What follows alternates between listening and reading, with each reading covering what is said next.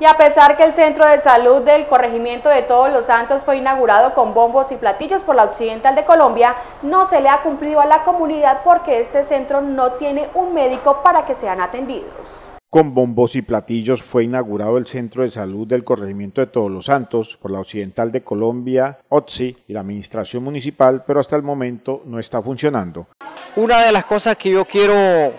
poner en conocimiento ante la opinión pública y, al señor alcalde le hago un llamado al señor gobernador sobre el puesto de salud que tenemos en VJ, en el cual lo considero como una estatua de Jaime Botero porque de nada nos sirve a nosotros un puesto de salud tan elegante y esa es una escultura porque no tenemos médicos, no hay una enfermera. Eh, se han presentado muchas emergencias que ahí es donde debe de estar directamente el médico o una enfermera de turno el compromiso adquirido por la Occidental de Colombia, OTSI, era de cancelarle un médico para estar permanente en este centro de salud, pero hasta el momento no ha cumplido. Un compromiso que hicieron ante la comunidad de Occidental de Colombia, poner el médico ahí,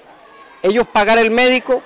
el puesto de salud está dotado de, los servicios, de, sí, de camilla y eso, e incluso hasta para que hace un médico allá.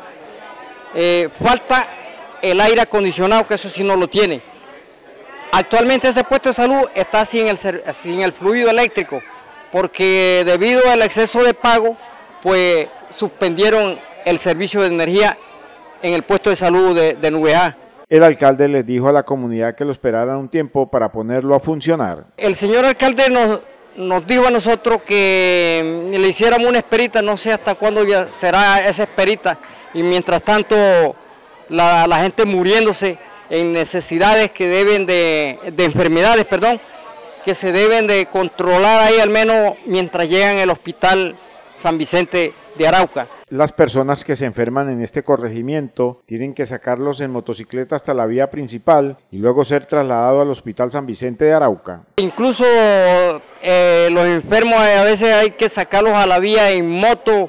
o por ahí en el carro del popular Come Callao, como le decimos cariñosamente a Marcos Cáceres, y otros vehículos más. Sí, se han presentado como casos de, partos, incluso aquí en el carro de Marcos ya muchas señoras han, han, han, tenido su hijo ahí dentro del carro. ¿sí? Entonces son cosas que se deben de atender en el puesto de salud y no por lo menos no en la vía pública como cuando hay esa jornada de, de salud. Para eso tenemos un puesto de salud que se debe poner en funcionamiento, porque si no, entonces, ¿para qué está ese puesto de salud ahí? La comunidad del corregimiento de Todos los Santos llama a este puesto de salud como una estatua de Jaime Botero porque nadie la utiliza.